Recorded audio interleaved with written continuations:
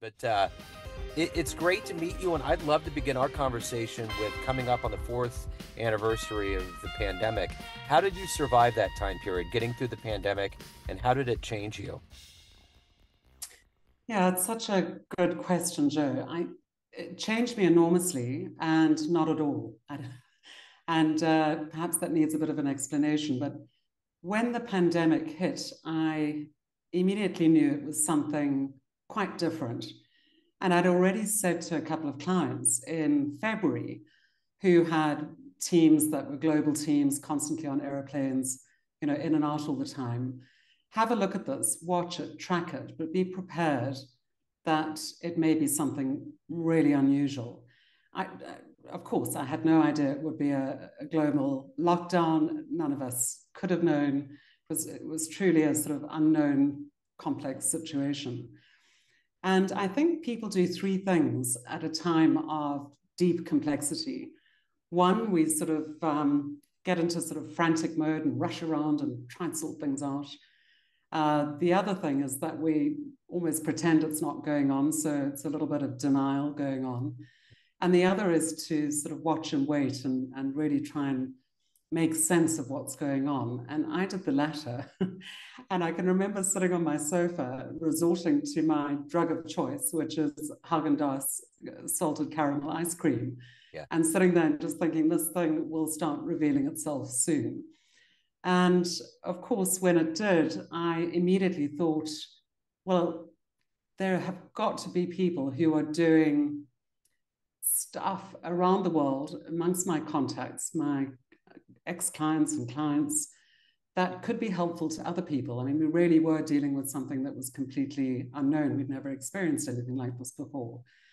Uh, so I got busy and I started doing a series of interviews with um, people from across the sectors in different places in the world and how they were actually coping and what they were doing, really looking for some nuggets that could help other people to uh, learn something and perhaps apply them, you know, in their own businesses, in their own careers and, and lives. So I kind of waited a little bit and then got got busy with that. And I, I guess apart from that, probably the trickiest thing was that the, the public speaking side of my business died, the keynotes, the getting on planes, going places. And that part of my business oils the rest of my life. You know, yeah. it brings in my, you know, coaching clients, the working with C-suite teams, all of that. It, it's just a lovely organic type of business, and um, that just died. And I, I, love hindsight. It's probably the most um, generous of things that we could po- possibly do is to look back because we find reason. And when I look back, it was the very thing that prompted me to uh, take a course in complexity, some missing pieces of my jigsaw puzzle, um, put together a masterclass around future focused leadership, and write a book. So it was a catalyst for a whole bunch of other things that needed a fresh new way of looking at the world. And uh, it did exactly that. It wasn't always fun. It wasn't always easy. I'm not pretending for a minute it was any of that. But gosh, it was rich. And uh, I learned so much. Yeah, it's interesting. My only thing I was really doing at the time was jazz radio, and I branched out since then. And I really ramped up my interviews. And I found that there was a level of not feeling so alone, I think it brought comfort to everybody involved. And I just think overall, it was that time period was so unique. I mean, did you find that doing interviews during that time was a real time capsule of what we were living through? And maybe in its own way, it was cathartic. Hugely. I mean, so I'm a great believer that I need to understand something, I need to get it to give it. And um, through the process of doing those interviews, I was basically gathering data, gathering information about how people were coping, the unusual things that they were doing to reach their markets, to revive their businesses. Of course, um, this idea of pivoting was sort of front of everybody's mind. How do we take what we've got and fashion it into something else? So I learned so much through every one of those um, interviews. And of course, the byproduct is it helped my community. It helped you know the people that I know in business to extract something from it. I also started um, something a little bit unusual, I guess, a Time to Pivot series, which was open to the public. Um, it was a logistical nightmare on uh, Zoom. And uh, people would show up and we'd go into breakout rooms. Each person would have the time to talk about the issue that they were dealing with in their careers or their businesses or their lives. And then we'd put it out. It was, um, I guess, like collective consciousness. You know, what were the ideas in the in that particular group that people could come back with that might help that individual? And I'm a great believer that wisdom is to be found everywhere. And you know, once we've exhausted our own networks, our own community, our families, our friends, um, often the best ideas come from left field, from places that we'd least expect them.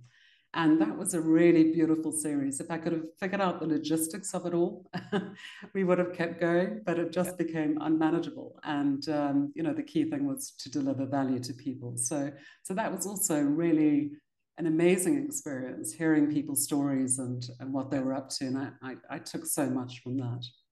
So let's get to the heart and soul of what you do for a living. I know on paper it all seems pretty evident, but if I put you in front of a bunch of third graders at career day and one of the kids says, Hey, what do you do for a living? How do you answer that child? Gosh, it's it's a, a tricky question without seeming really slick and um, unthoughtful. But I guess I would say I'd help, help people to be the best they can be, and I help businesses to um, deliver the purpose, you know, whatever their purpose is, whatever they've set out to do in the best way possible. So I don't know whether a third grader would understand that. I, probably so. I think in in varying degrees, maybe not at the depth of where we're at, but I think they would probably get it on a visceral level. Um, what did you want to be in the third grade? What was your dream to grow up and become?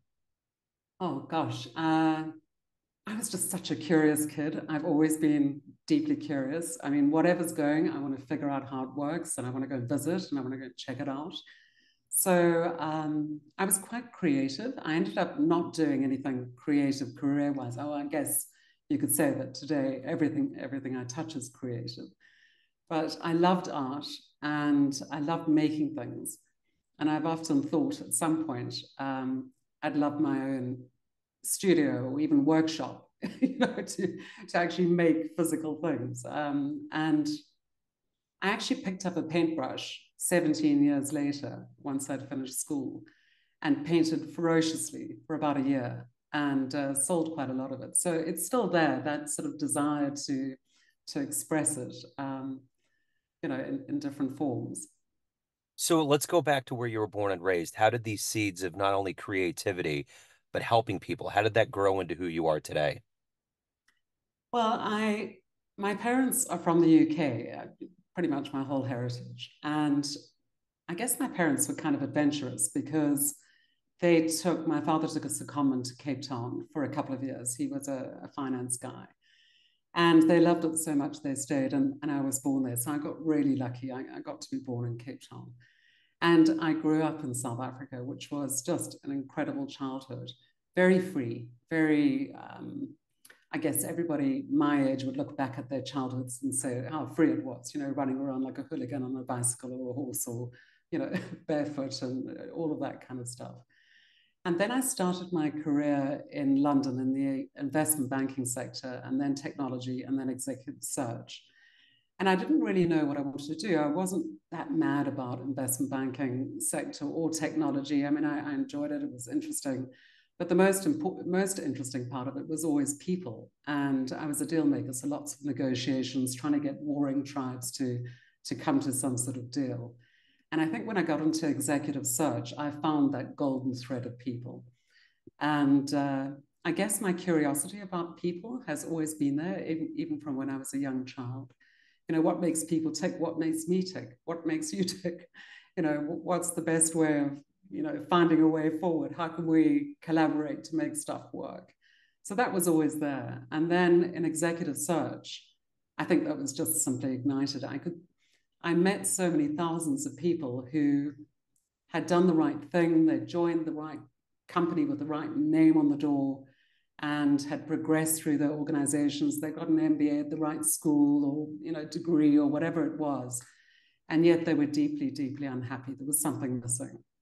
And of course, in executive search, I was working on retainers. I didn't have a lot of time for, you know, working around the coaching side of things.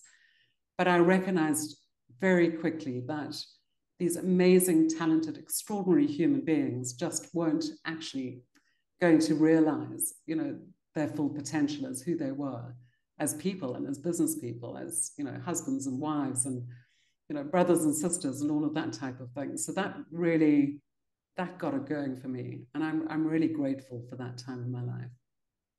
So who's been a hero for you in your life? Every single client I've ever worked with. Uh, the courage that we need to grow is extraordinary. And I guess when you're constantly working with people who are, I don't know, getting through terror barriers and taking, you know, the chance to to do something a little different and, and the outcomes are so impactful. Uh, every single one of them, you know, are my heroes. And it, it's what, what I wake up and do every day. So as an author, what was the first book that you read when you were young that that stuck with you, that made you want to read more or write someday? Oh my gosh. Um, my mother used to have to take me to the library twice a week because I just galloped through books. I couldn't get enough of it. But I remember reading a book when I was in my teens called Uhuru, and I forget the author, but it was about Kenya and the changes in, in government there and the changes in rule. And it was so profound. Um, I really felt that book.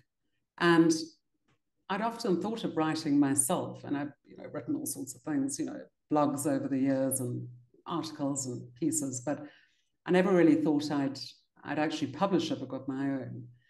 But I think that this constant reading, the constant delving, the constant inquiry, the constant curiosity, um, I, I, think that, that that started very young. I, I can't even pinpoint a book, but it, it, was definitely twice a week to the library and you know big time consumption. I think I could I could take out two books at a time. So yeah. that, that was the limit. yeah, yeah. So yeah. if you can meet anybody alive on the planet right now that you find fascinating or intriguing, who would that be? Who would you love to meet and talk to? I would have loved to have met Stephen Hawking. Um, an extraordinary mind. Uh, I remember watching a documentary about him and um, how he transcended, you know, the, the, extraordinary nature of his disease. And, and I think a lot of the things that we're seeing now in AI about sort of thought and speech and translation and all of that kind of stuff um, started with him. But yeah, I, I would have loved to have spent just time with him, not once, but you know, puffing in and out and going back for more. Yeah. Uh, that would have been amazing. Yeah. Yeah. So in, in your work that you do every day, what is it that gets you out of bed? What is it that gets you to want to accomplish and to help people and then also evolve and grow as a human? I think the two are inextricably intertwined. Yeah. You know, as my clients grow, I grow because I must. So, yeah, I've always been an early riser. Sun comes up. in my 20s, when I perhaps used, used to party so much more, um, you know, it was kind of a curse. I used to think, oh my goodness, you know, I can't bear this sort of way of being. But today it's just brilliant. So, sun comes up, I'm up, out of bed. And for me, every day is a new day. There is, and I think also the variety every client is different. Every situation they're dealing with is different. Every organization is different. Every C suite team is different. Every time I speak to an audience, it's, a, it's different. And I think that's the thing that keeps me energized and connected and curious, because that's kind of the thing that runs my life. So, do you have a, fi- a favorite client success story? Oh, there's so many. I mean, I founded this business in London in 2005, and uh, I'll be 19 in May, so I can still say I'm a teenager for a little while longer. there you go. But mean, as the world has changed over those 18 and a half years, so too have I. I started um, working with, I took an accreditation, and ICF accreditation in conscious leadership in 2010, 2011. And that really ignited my deep connection with conscious leadership, what it means to be a conscious leader, and conscious business, purpose driven businesses. And of course, today we're starting to see that pop. You know, everything's about timing in life, kairos rather than chronos. And at the time, it was, oh, that's lovely, but you know, what's in it for me, kind of thing. Um, and then I got really curious. I was invited to go and take a futures and foresight course, uh, really about thinking about the, the future in multiple planes and in 2017. So of course that, you know, supercharged that sort of thinking and I recognized instantly that people needed it. The organizations definitely needed it, leaders definitely needed it. The world was changing. And then a complexity course and some behavioral science stuff. And so I think that this constant evolution is something, and of course, the types of clients that I attract are the types types of people who want to grow um, in this kind of way. So, you know, probably not that massively attractive to somebody who just wants to get their boss's job. You know? Yeah. But somebody, I always think that I'm, I'm probably the coach and the facilitator and the speaker for the, the thinking person's um, career. You know, yeah. that makes sense. Yeah, totally. So, of all of these things that you've accomplished and done and overcome in your life, what are you ultimately the proudest of?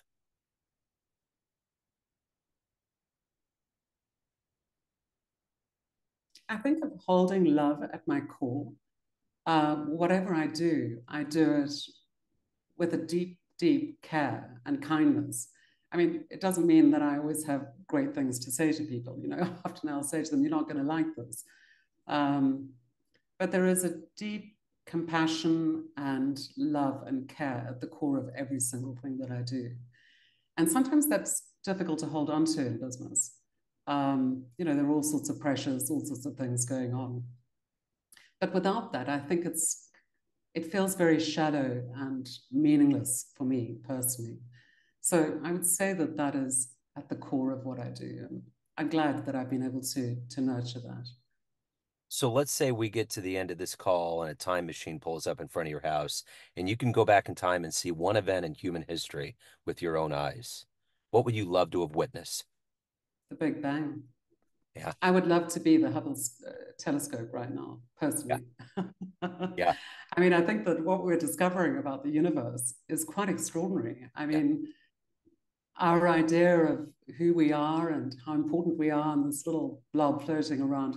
Oh, or maybe an, I mean, to be an astronaut, I think yeah. I want to go to space before I die. Yeah. For sure. Yeah. yeah. I want to see the Earth from outer space. That would be cool. So yeah. everyone out there has a perception of you, family, friends, clients, colleagues, your readers, but you ultimately live your life. What's your perception of you? Who do you think you are? Oh goodness, that's a really interesting question. this is therapy hour. therapy hour. I love that. Um, yeah, deeply compassionate, deeply curious, um, optimistic. I'm also very pragmatic and down to earth. Um, and I really love what I do. I, you know, I'm not sure if it can be, I can be any more succinct than that. So, if anyone wants to get your book, they want to learn more about you, hire you, anything about your world, where's the best place to go? Yeah, the book's on Amazon, and I think it's on Barnes and Noble as well, um, or my website, which is mowbraybydesign.com. And if they want to connect, um, I'm on LinkedIn, probably the most active platform that I'm on um, as far as media, media is concerned. Um, yeah, the website has everything from masterclasses to coaching to uh, team development, you know, the, works, and a link to the book as well if they want to go there. Wonderful. Louise, thank you so much for your time. Thank you for your story. Best of luck with everything. I appreciate it. Yeah, thank you, Joe.